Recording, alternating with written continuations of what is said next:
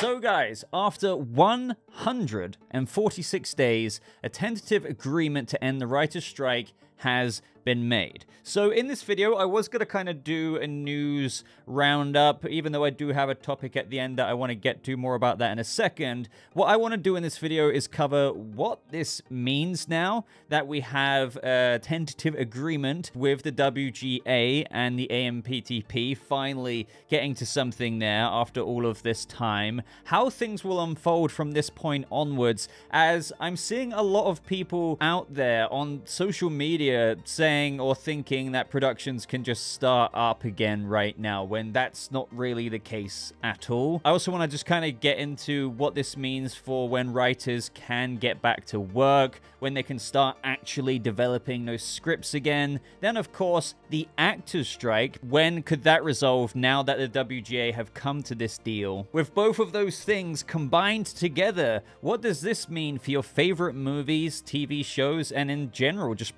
productions out there? And also, even with the resolution of both WGA and SAG AFTRA in the future, there is, believe it or not, and I'm not trying to scare people, I just I'm trying to keep people informed. There are more agreements expiring next year that could potentially, potentially cause even further disruptions to the industry if those unions went on to strike. So we're going to get into that at the tip tail of the WGA SAG-AFTRA talk, but also, as I said and teased a minute ago, I also want to cover some news that I missed in how we also have a major DC Studios update with huge investment from Warner Brothers Discovery and, and what this means for the future of DC movies. Let's go from the top with what Deadline had to say. The Writers Guild has reached a tentative agreement with the Alliance of Motion Picture and Television Producers to end its strike after nearly five months. The parties finalized the framework of the deal Sunday when they were able to untangle their stalemate over AI and writing room staffing levels. Now, they go on to say that the details of the WGA's tentative agreement haven't been released, but will be revealed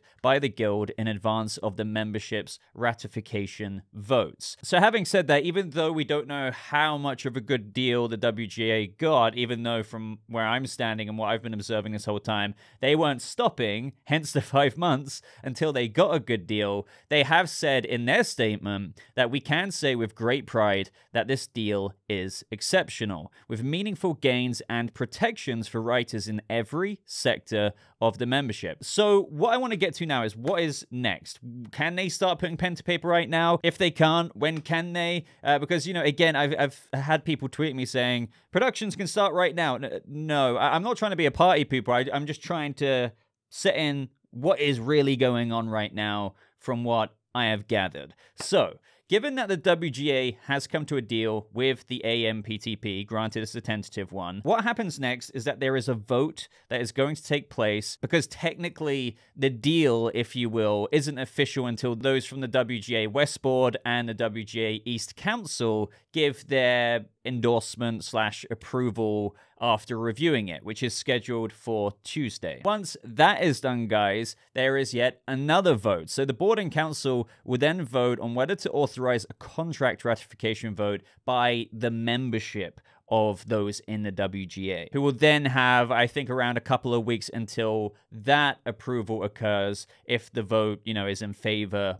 of the deal. So there will be meetings where members, writers of the WGA will have the opportunity to learn more about the deal before voting on it. But you know, you would have to think if the heads, the negotiators of the WGA were somewhat happy with this deal and they're calling it exceptional, it is more or less likely, in my opinion, that the, the members of the WGA will vote to approve this as well. And then finally, with that being said and done, if it's all good to go, there'll be another vote on whether to lift the restraining order and somewhat, you know, announce the end of the strike at a certain date officially while the ratification vote by the membership is taking place. So technically there is like an inbuilt thing and where there is still the power for the vote from the members of the WGA to say no to the deal. But again, that is very unlikely. But let's look into a little bit more. When can they actually start developing scripts again, start working on them? Because as always, I'll use the example here of something like the Batman part two. Uh, you know, Matt Reeves, from what I understand and through what he said in many interviews out there, they're not actually technically done. He's always like, me and my partner, Mattson Tomlin, are still writing the script. So can he start writing it right now? Well, as of right this very second, no, you're not allowed to. Deadline said this about what happened during the WGA and AMPTP meeting. The studios also inquired if once a tentative agreement is ratified by the scribes, if the writers would pick up their pens and hit their keyboards again very soon afterwards. The Guild, from what we understand, had made the request that their members not not return to work until SAG AFTRA also had a new agreement with the AMPTP, reflective of the WGA's feeling of solidarity between the two unions that has characterized their first mutual strike since 1960. It seems a pathway to split the difference was found. So I think this is what is confusing quite a few people out there.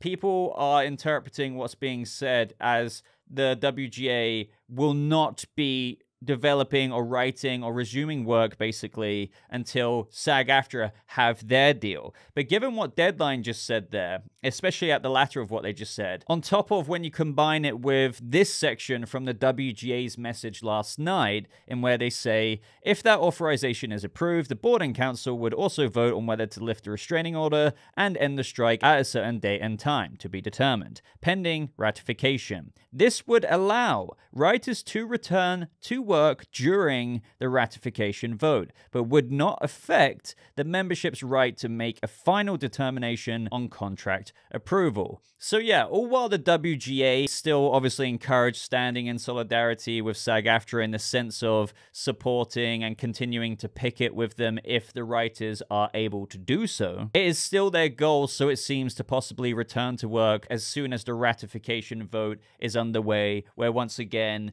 that is when the members of the WGA are voting in favor or not of the deal that has been brought forward to them. And where, again, given that the leadership are happy with the deal that they got, they're calling it exceptional. I don't see why, after five long months, writers would be like, nah, let's reject that deal. And God, cause all of this uh, fallout where imagine how that would affect things where the studios would be like eh we're, we're going to have to start negotiating again and where they probably wouldn't want to immediately it would just yeah so in my opinion, it's all formalities. This is just the process we have to go through in the next couple of weeks or so. But during that voting process, it is important to note that there can be work conducted by writers during the ratification vote. Which leads me to, after all of those processes, the bottom line is while we wait for the deal to become sealed and official with the WGA, with all of the things we just talked about, the companies will now likely turn their heads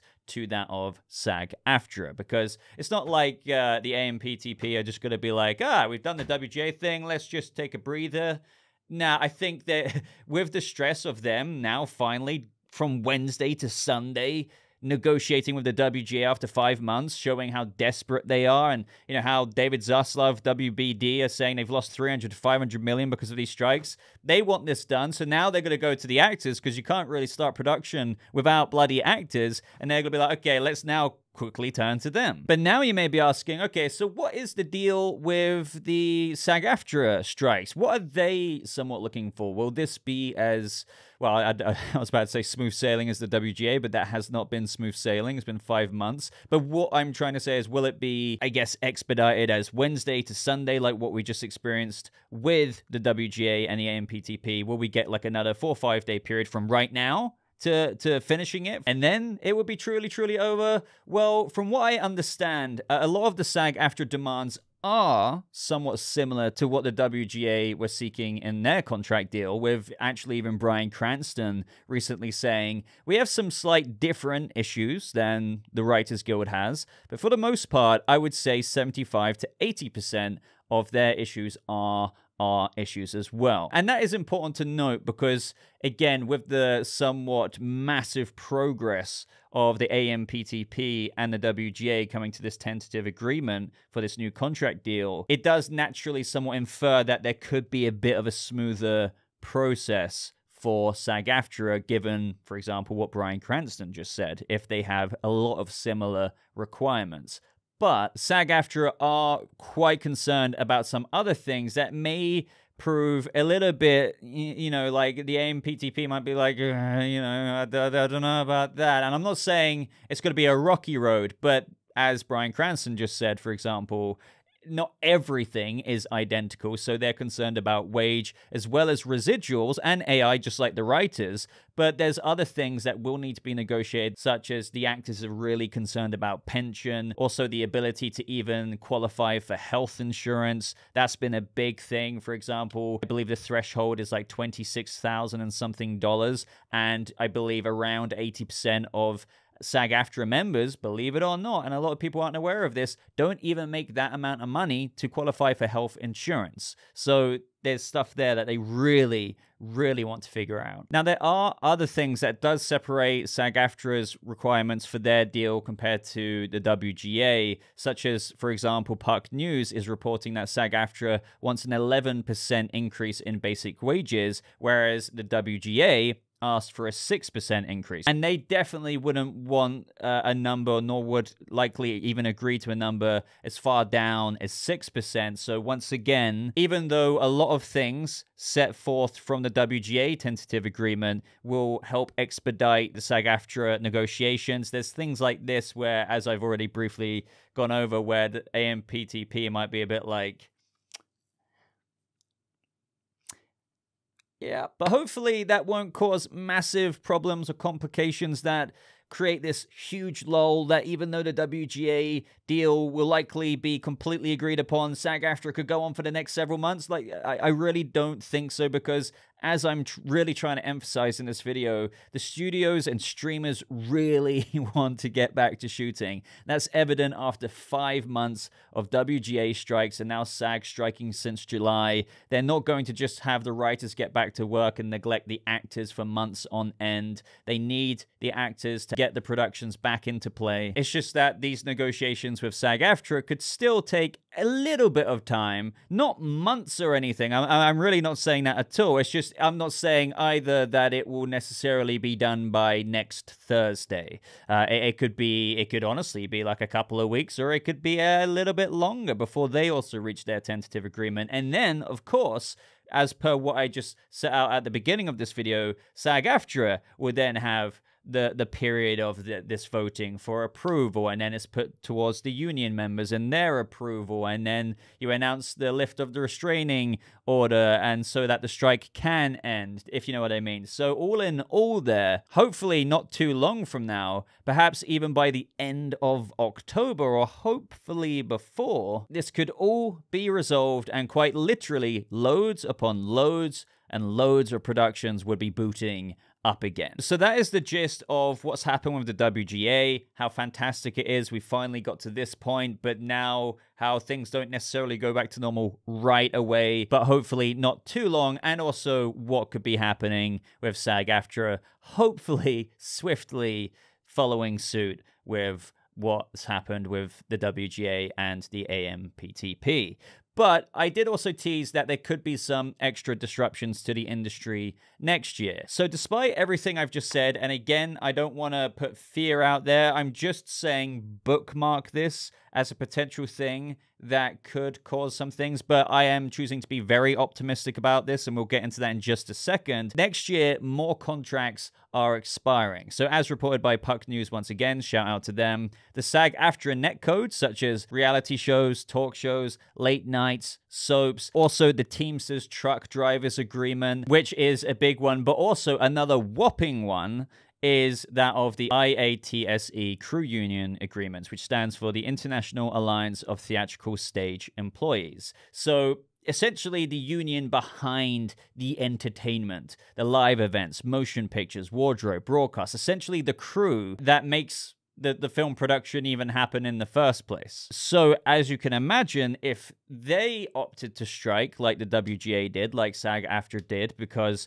the AMPTP were not before that, giving them a fair enough deal provisionally. So, what do you then go on to do? You then opt to strike to basically be like, F you, we're going to disrupt things so we can actually get something better. This would, once again, completely shut down the industry because even though writers and actors would be geared up and ready to go, you, you can't shoot a movie without the people who are making the moving pieces literally happen. But here's my optimistic take here. With the disruption of 2023, because for me it's gone by very, very quickly, but don't forget that the writers, the WGA, have been on strike since May. Then, of course, SAG AFTRA striking since July. Because of all of that, I'm encouraged in thinking that maybe the AMPTP will not want even more major disruptions to getting back on track in 2024. So, so hopefully they agree to a deal that avoids these unions opting to strike because, as I've heavily gone over, they've already transparently been sweating a little bit. Now they're just really wanting to get things back to normal. Imagine if just as let's just say the Batman Part 2 goes into production next year in March as per what it's been delayed to, eventually they, they, they start shooting, another movie starts shooting as the year unfolds, but then there's another massive industry standstill because you have big unions that make those movies happen that are totally outside of the actors and writers going on strike as well. Uh, you would hope that, as per the usual process, they start talking before then, and the AMPTP, to avoid them opting strike, will be like, okay, what about this? And they'll be like, okay, okay, we, we won't strike then. We can just carry on with a new contract that we're happy with. Now, don't get me wrong, with the AMPTP, nothing would surprise me at this point, but hopefully you would you would have thought by, those, by the time those contracts expire that they've learnt their lesson. This also means that whatever is going to be cooked up in the next couple of weeks with SAG AFTRA in those negotiations, that will therefore somewhat drive the demands from these unions next year. So hopefully that doesn't cause any friction between SAG AFTRA and what will be happening very soon. Um, and we're just going to have to wait and see. But no matter what, guys, major, major, major, major progress. And again, hopefully before Halloween, in my opinion, things will be going back to normal. There will be a bit of a lull period in certain things, but you're going to have like a bunch of things happening at once. So let me know what you thought of my ramble of everything that is actually happening right now. Let me know if it informed you because, again, I'm seeing a lot of people kind of assume things that really it doesn't pertain to the process of what is actually unfolding. But that doesn't mean that those things that people are really excited for, such as, you know, getting back to normal again, it doesn't mean that they're not too far away. So let me know what you think of that. And lastly, I wanted to talk about DC Studios because there's been quite a big update. Now, some of you may be like, eh, is it really that big? It kind of is a big deal with regards to the faith, the investment, and the belief and and the requirement, if we're if we're going to be frank here, of how DC has to perform in the future and what Warner Brothers Discovery is willing to do to make that happen. So, this came out quite a few days ago now, but Deadline reported, as well as many other outlets, that UK's Leavesden production facility to become DC Studios' hub by 2027 as part of major Warner Brothers Discovery expansion. So they go on to say here Warner Brothers Discovery has confirmed it plans a major expansion of its Leavesden studio lot, with the UK location set to become the epicenter of DC Studios production. Now, obviously, uh, Leavesden is owned by Warner Brothers already. As they go on to say here, the, the media company has spent the past year in cost-cutting mode, delivering four billion in cost savings, and I think you know we've reported on that enough and spoken about that with all the cost-cutting that Warner Brothers and David Zaslav have heavily been doing in the past year or so. But they plan to call for ten. This is like huge. 10 new sound stages and 400 thousand new square feet of production and support space, according to a press release. The growth surge will increase the production capacity in Leavesden by more than 50 percent. The total stage count will rise from 19 to 29, and the overall production space from 1.14 million square feet to 1.78 million square feet. So this is big because you know, obviously, uh, you know, they're, they're, talking about that to hopefully fully be wrapped up, uh, and you know, work is slated, you know, in the second second quarter of 2024 to wrap up in 2027, for then it to really become the primary production hub for DC Studios. Like Leavesden is basically got to be known as freaking DC Studios hub in uh, the UK, which is is really cool because obviously uh, this is a few years away with this massive expansion, and that's not to say that, for example, Superman Legacy, like we we don't know this for a fact, but it's likely depending on where it's going to shoot on location, but they could do things like that at Leavesden. We're going to have other movies in the DCU utilize that space as well, but by 2027, it is going to be retrofitted into a DC Studios powerhouse. So with these expansions, it's interesting to note that deadlines say DC Studios co-chairman and CEOs James Gunn and Peter Safran will consult with the expansion team to ensure their ideas are incorporated into the new studio and production facilities. So James Gunn, having a lot of experience as a director, will have a lot of input in what he wants to include in certain spaces at Leavesden with this massive, massive upgrade. So maybe there will be a corner for all kinds of flight where it's like Superman or lanterns in space or, or God knows what there, or like, hey, this is where we're going to set up massive vehicles. This will be the dedicated space. I've come across this technology when I was working on Guardians 3, Guardians 2, or my experience during Peacemaker Season 2 of this has taught me if we introduce this technology here and dedicate this space or this soundstage to that, we can now use all future, I don't know, proper like superhuman flight moments in this section. And we can make it look really good with the latest technology, the latest things that give us the ability to make it the best we possibly could. So I'm sure he's going to have like input like that. But the bigger thing here is that it's just so cool to see this happen because, you know, you can still shoot DC movies like has been done beforehand without this massive upgrade. So this speaks to a larger message of they are going head over heels into the future DCU. And that's a question I get asked a lot. It's like, Boba, do you really think that they're going to like really invest or is is the DCU not dead on arrival like everyone keeps saying? Technically, that is to be determined, even though I've got like a video cooking up about this. Bit of a preview for that I don't think the DCU would be dead on arrival unless, for example, Superman Legacy did something like uh, Shazam Fury of the Gods money, so like 136 million.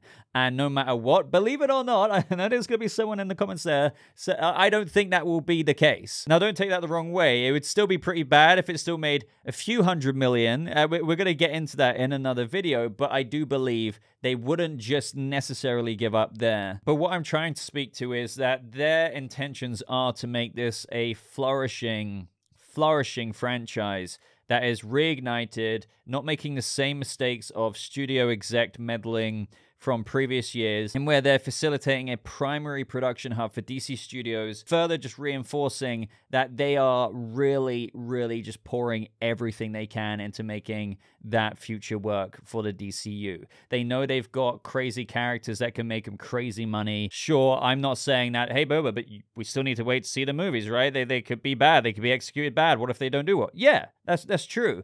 But the intention is there to make it like, dude, like they cannot miss. As I've said, and I think everyone is aware right now, they need to slap with it. They, it. it, can't not slap. Sure, there may be people who might not be interested in the first place, but if the movie is made well, executed well, crafted well, they just want to start off on that right foot. And a way to do that is also by, you know, envisioning the future in, in, in a way that they can really pull off all of these future plans. Like, you know, by 2027, you'd have things like maybe Swamp Thing happening at Leavesden in London because we've roughly gone over that map that you're seeing on screen right now. And from my guesstimation, if you will, with two TV shows and two movies a year, as per Peter Safran saying that, uh, roughly around about then, you could see Swamp Thing production in Leavesden. And, and again, not to say that other productions won't be there before then, but in terms of like the new proper, like, upgraded DC Studios hub,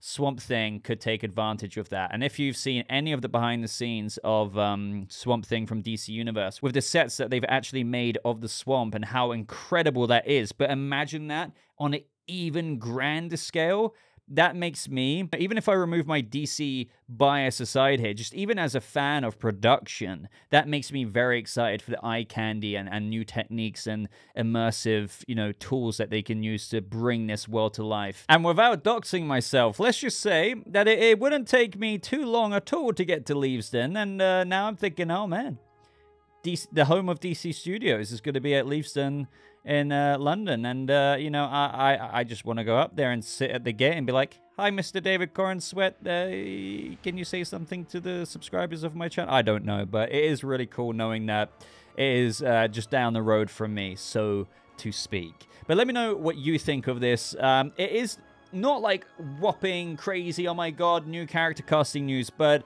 if you read between the lines, this is very promising for DC's future and just, you know, telling of how much Warner Brothers Discovery really want to make this work, despite what you hearing this right now may think and how much disdain some fans may have for the current brand. The future is aiming, or they are aiming to have it be bright. And this is the mark, like the first carving in the tree that they're trying to show you that they they are very serious about it. But enough rambling from me in today's video, guys. Just thank you so much for watching up until this point. If you have got this far, if you have got this far, let me know what you think of everything we discussed down in that comment section. Leave me a like if you enjoyed it. It really does help boost my channel and my videos up there in the algorithm. So please consider doing that. Consider sharing it. Consider subscribing for more content like this. But until next time, thank you so much for watching. I hope you all have a lovely rest of your day, and I'll see you guys in the next video. Goodbye.